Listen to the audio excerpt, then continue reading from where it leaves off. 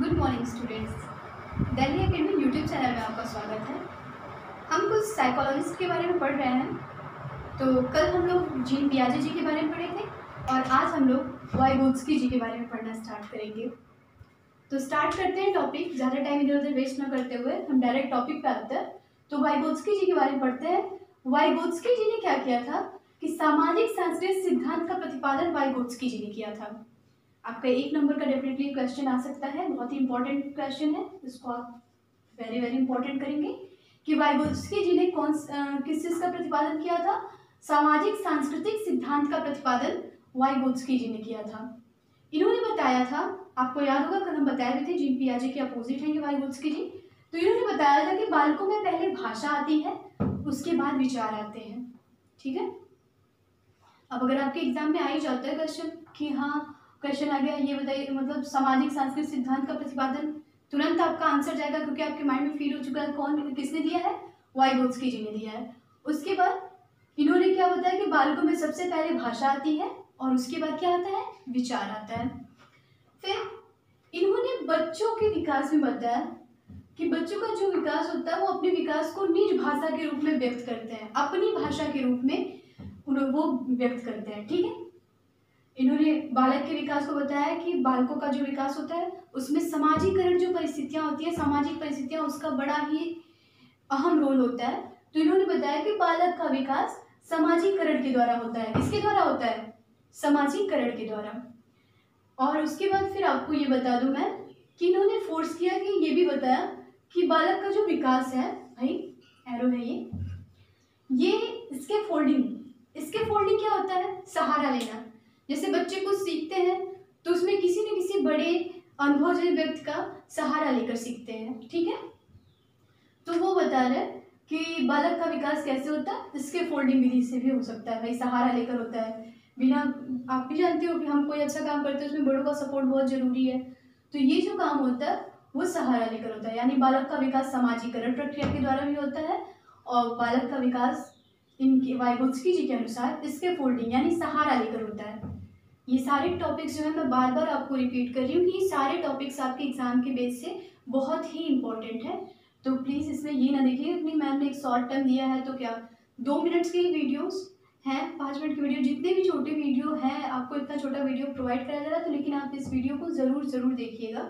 और ये सारे, ये ना सोचिएगा कि नहीं, ये वीडियो क्या है? ये सारे वीडियो बहुत ही इंपॉर्टेंट और ये सारे टॉपिक्स आपके सीटेड के एग्ज़ाम के बेस पे बहुत इंपॉर्टेंट हैं। और काफ़ी कम पॉइंट है, आप इसको देख सकते हैं, क्योंकि सारे इंपॉर्टेंट पॉइंट ही मैंने टच किए हैं। उसके बाद ये बोलते हैं वाइगोत्सकी जी बोलते हैं कि जो बालक का विकास होता है, वो एक दिशा में होता है। ठीक है? फिर इन्होंने बताया कि बालक के विकास में वयस्क एवं समवयस्क लोगों का भी बहुत रोल होता है। जैसे बच्चे क्या करते हैं, आप छोटे बच्चों को ज़्यादातर ध्यान देते होंगे कि जो छोटे बच्चे होते हैं, वो किसी भी चीज़ को तुरंत बड़ों से सीख के, बड़ों की चीज़ को नकल करते हैं। देखेंगे ना कि हाँ मेरा बड़ा है, ये काम कर रहा है, मुझे भी ऐसे करना चाहिए। तो उस चीज़ों को बड़ों से सीखते हैं। तो बच्चों में, बच्चों के विकास में कहीं ना कहीं उसके वयस्क और समवयस्क लोगों का भी बहुत बड़ा योगदान होता है, ठीक है? उसके बाद इन्होंने बताया कि बालक के विकास में समीपस्थ समीपस्थ विकास का क्षेत्र बताया। इन्होंने एक टॉपिक दिया जिसको Z P D zone proximal development कहते हैं जिसे। इसमें क्या है कि बच्चों का पहले का सीखा हुआ ज्ञान और अब के ज्ञान में, विकास में कितनी उन्नति कर रहा है, क्या उसका दर निकल रहा है, उसमें ये अंतर करता है आपका क्या समीपस्थ विकास का क्षेत्र, जेड पी डी। आपको मैंने इतने इंपॉर्टेंट पॉइंट टच करा है कि वाइगोत्सकी जी ने सबसे पहले सामाजिक सांस्कृतिक सिद्धांत का प्रतिपादन किया। इन्होंने बताया कि बालकों पहले भाषा आती है, उसके बाद विचार आते हैं। फिर बताया कि निज भाषा के रूप में बालक अपने विकास को या अपनी भावनाओं को निज भाषा के रूप में अभिव्यक्त करता है ठीक है? अभिव्यक्त करता है। उसके बाद बालक का विकास कैसे होता है? सामाजिकरण प्रक्रिया का बहुत रोल बालक के विकास में सामाजिकरण प्रक्रिया का बहुत ही अहम रोल होता है। उसके बाद बच, बच्चे के विकास में इसके फोल्डिंग सहारा लेना। विदाउट सहारा ली भाई कोई भी छोटा बच्चा है एक आप एक स्टीम से भी देख लो एक पेड़ होता है हाँ? उसको भी छोटे पेड़ को एक सहारे की ज़रूरत है। सेम वैसे इंसान भी है ह्यूमन भी है, वैसे ही। तो वैसे ही बालक को भी अपना विकास करने के लिए सहारा लेने की ज़रूरत है। फिर बालक का विकास इन्होंने बताया एक दिशा में होता है, क्रमिक होता रहता है, निरंतर तो होता है, लेकिन क्रमिक होता रहता है। उसके बाद इन्होंने बताया कि बालक के विकास में वयस्क एवं समवयस्क समूहों का भी बहुत बड़ा योगदान होता है और इन्होंने समीपस्थ विकास का क्षेत्र, ये क्वेश्चन आता है, ये भी बहुत इंपॉर्टेंट है। कि आपको पूछेगा कि समीपस्थ विकास का क्षेत्र, यानी जून प्रोक्सिमल डेवलपमेंट, ये किसने दिया है? तो आप डायरेक्ट बताओगे, इसके बारे में किसने बताया है? वाई की जी ने बताया है। ठीक है? अब मैं आपको रोज़ ऐसे कुछ वर्ड्स बताती हूँ जो, जिन्हें पकड़नी क्योंकि मैं पहले भी बता चुकी हूँ आपको कि जो सी के क्वेश्चन होते हैं, वो बड़े लॉन्ग टर्म्स बेसिस होते हैं। तो उनको पढ़ते पढ़ते ही काफ़ी टाइम लग जाता है और फिर ऐसा होता नहीं, मुझे समझ नहीं आ रहा है। तो मैंने कल भी जी प्याजा जी में आपको कुछ वर्ड्स बताए थे कि जब आप प्रैक्टिस सेट सॉल्व करो तो उस वर्ड्स को पकड़ लो मतलब उस वर्ड्स को एक बार, दो बार पढ़ लो, उसके बाद उसे लिख लीजिएगा आप लोग, एक नोट्स ज़रूर उसके लिए बनाइएगा, छोटा सा नोट्स है आई थिंक मुझे लग रहा है दो मिनट से ज़्यादा टाइम लगेगा आपका। तो उसको आप लिखिए, और जब आप प्रैक्टिस सेट सॉल्व कर रहे हो तो आप क्या करिएगा, उस वर्ड्स को अपने क्वेश्चन में देखने की कोशिश करिएगा, ताकि आपको इतना क्वेश्चन पकड़ने या फिर याद करने में नहीं, बस याद करने की ज़रूरत नहीं पड़ेगी कि यार इतने बड़े क्वेश्चन है, मुझे समझना है। आप बस उस वर्ड को माइंड में रखे हो तो वो वर्ड्स अगर उस स्टेटमेंट में आ रहा है तो आप जान जाओगे कि नहीं, ये वाइगोत्सकी जी का है। अगर वाइगोत्सकी जी से जुड़ा हुआ स्टेटमेंट है तो यानी कि वो सामाजिक, सांस्कृतिक सिद्धांत के बारे में हो सकता है।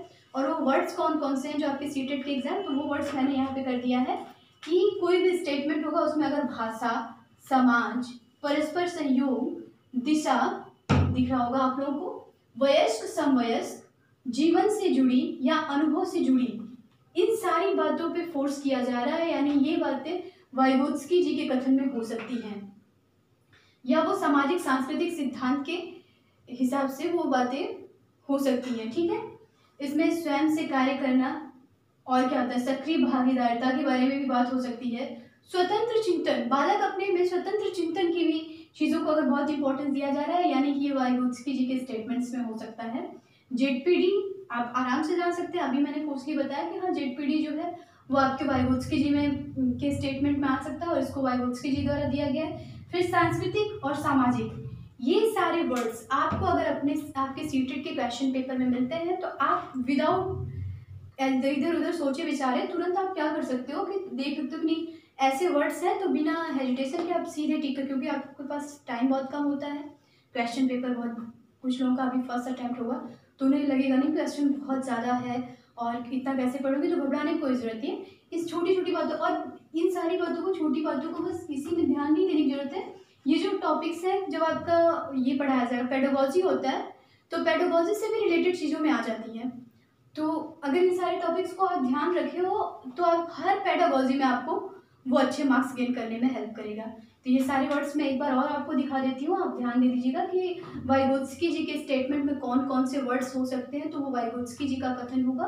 वो होगा भाषा, समाज, परस्पर सहयोग, दिशा, वयस्क, समवयस्क, जीवन से जुड़ी या अनुभव से जुड़ी, स्वयं से कार्य करना, सक्रिय भागीदारिता, स्वतंत्र चिंतन जेडपीडी और संस्कृति व सामाजिक। जो अभी आप ऊपर पढ़े हो, सामाजिक, सांस्कृतिक सिद्धांत का प्रतिपादन, आपको पता है कि वाइगोत्सकी जी ने दिया है। तो आज के लिए मैं हमारा वीडियो वाइगोत्सकी जी के बारे में बस इतना ही है। और अगर आपको वीडियो अच्छा लगे तो प्लीज़ लाइक करें, शेयर करें एंड सब्सक्राइब करें। Thank you.